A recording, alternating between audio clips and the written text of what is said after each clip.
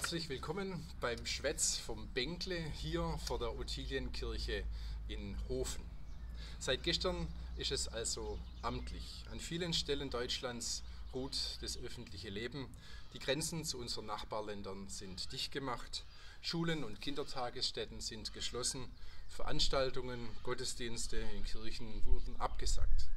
Und der Appell an die Bundesbürger, die Sozialkontakte so weit wie möglich herunterzufahren. Dieser Shutdown betrifft im Besonderen Eltern, Selbstständige, Unternehmer, Arbeitnehmerinnen und Arbeitnehmer, die sich Sorgen um ihre berufliche und wirtschaftliche Zukunft machen, die nicht wissen, wie sie jetzt den Alltag zu bewältigen haben, die auf Hilfe angewiesen sind. Das Motto dieser Tage scheint auf der anderen Seite zu sein, langsamer, langsamer, langsamer während sich Verantwortliche in Politik und Forschung beschleunigt an die Lösung vieler Aufgaben machen. Während Pflegerinnen und Pfleger, Ärztinnen und Ärzte und Menschen in anderen Berufen, die jetzt besonders wichtig sind, in besonderer Weise herausgefordert sind. Doch nicht alle wollen das einsehen. Ganz nach dem Motto, wenn uns der Staat schon alles verbietet, dann feiern wir halt selber und sei es mit einer Corona-Party.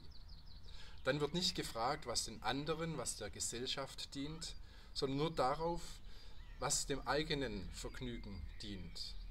Wenn es mir nichts ausmacht, dann schadet es ja auch nicht.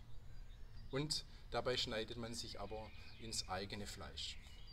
Der Politikberater und Autor Erik Flügge, von dem ich weiß, dass er selber gerne Partys feiert, schreibt auf seiner Facebook-Seite und ich habe mir erlaubt, ein paar Dinge zu aktualisieren und auch zu ergänzen.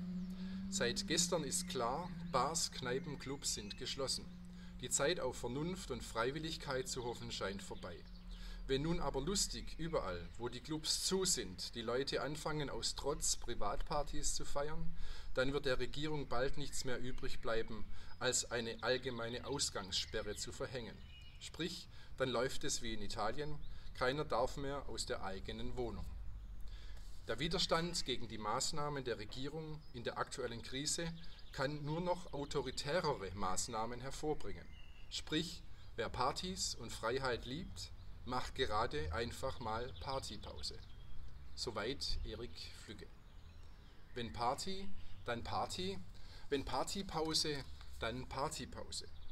In der Bibel gibt es einen Text, der mit viel Weisheit auf den Punkt bringt, wie sich unser Leben gestaltet. Und diese Erfahrung haben wir alle schon gemacht. Ich lese aus Prediger 3. Für alles gibt es eine Zeit, Zeit für jedes Vorhaben unter dem Himmel, Zeit zu gebären und Zeit zu sterben, Zeit zu pflanzen und Zeit auszureißen, Zeit zu töten und Zeit zu heilen, Zeit einzureißen und Zeit zu bauen Zeit zu weinen und Zeit zu lachen, Zeit zu trauern und Zeit zu tanzen, Zeit Steine zu werfen und Zeit Steine zu sammeln, Zeit zu umarmen und Zeit das Umarmen zu meiden, Zeit zu suchen und Zeit verloren zu geben, Zeit zu bewahren und Zeit wegzuwerfen, Zeit auseinanderzureißen und Zeit zusammenzunähen, Zeit zu schweigen und Zeit, Worte zu machen. Zeit zu lieben und Zeit zu hassen. Zeit für den Krieg und Zeit für den Frieden. Alles hat seine Zeit. Das gilt für immer und das gilt auch in dieser besonderen Zeit.